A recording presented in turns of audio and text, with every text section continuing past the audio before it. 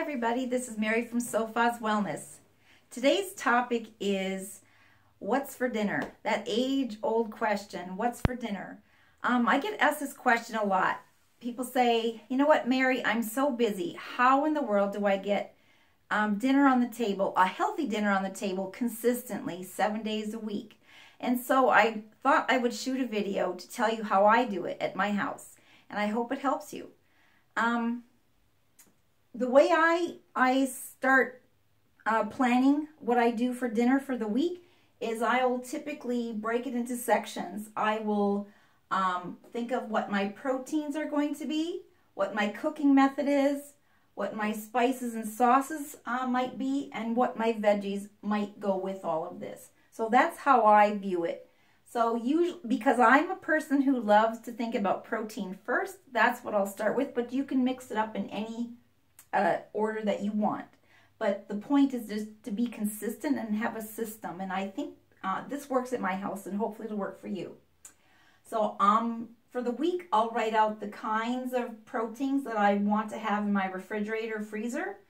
Um, I'll typically do two uh, servings of fish, one to two servings of turkey, a chicken, some lamb or beef, um, you'll notice I have lamb first. That's what we prefer at our house. That's our preferred red meat. But if you do well with beef, that's your option.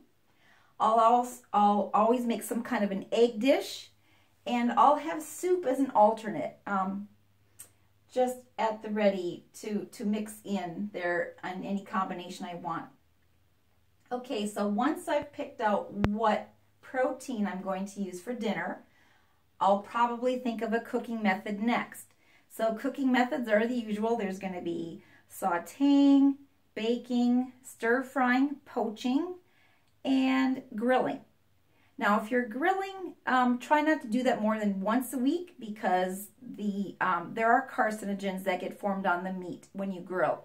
So um, the way to handle that is try to, to uh, uh, marinate that in some kind of lemon juice, lime juice, or cherry juice to kind of help with that, to help reduce the char, which is carcinogenic. So, um, and you'll notice that I didn't mention microwaving. Nope, microwaving is not an acceptable form of cooking.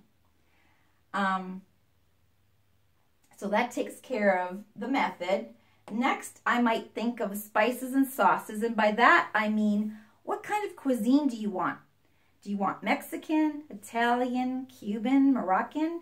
You name it. The sky's the limit. If you have a spice mix that you want or a sauce that you want, um, go ahead and factor that in. And next comes veggies. Now, veggies, um, the veggies, Americans don't do so well with that. Um, did you know that the average American maybe eats only about, um, say, 7 to 10 varieties of vegetables? I'm not sure if you knew this or not, but we are designed, as human beings, we are designed to eat over 100 varieties of vegetables. And so we want to uh, try to uh, increase the varieties of vegetables that you use. And the best way to do that, in my view, is to go to the farmer's market and see what's available. What's available during that season. And farmers markets are also a great place to find heirloom vegetables, um, which have a very high nutrient profile compared to conventionally grown vegetables. So veggies, we need to do a better job on that. Um, so pick the veggies that will go with your dinner. Um, speaking about veggies, you'll see I have a dinner plate over here. The dinner plate is divided into four sections. You'll see that vegetables cover 50% of the dinner plate. And that's what your goal is to aim for 50% of your plate being vegetables. Um, if you're not currently eating 50% vegetables, work your way up slowly so that you don't get any digestive upset. And over here we have protein. Protein is about 25% of your dinner meal. Um, and that should satisfy most Americans. And you'll see this optional fourth quadrant here. That's optional. If you have a more sedentary lifestyle, um, you'll find most times that your protein and your two veggies will satisfy you. But if you're more active or you're just plain hungry that night, You can have an optional serving of something like, um, you know, rices, um, which would be, you know, black rice, brown rice, wild rice would be preferable to white rice. And maybe some quinoa, that might be an option for you to have a starch over there to keep you full and satiated. Um, well, that's how I do dinner, how I plan dinner for the week. You'll see that it's a system. And if you're looking for additional help on, uh, you know, sometimes we all just need a little help. We might get a little stale. And I have two resources here that I love to share with people. My number one resource to reach for is Well Fed and Well Fed 2 by Melissa Joulwan. These books are great.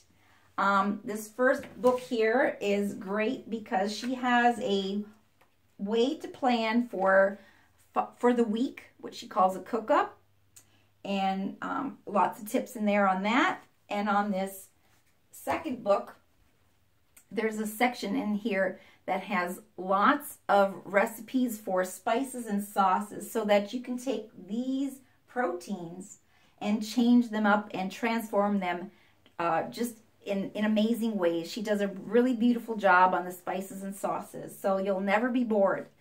Um, that's it for my tips on uh, how to get dinner on the table, healthy dinner on the table, seven days a week.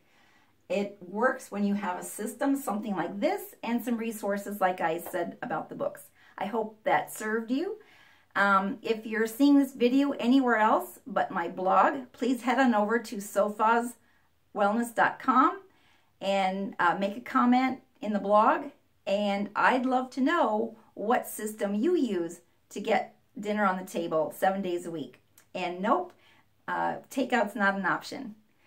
See you next time.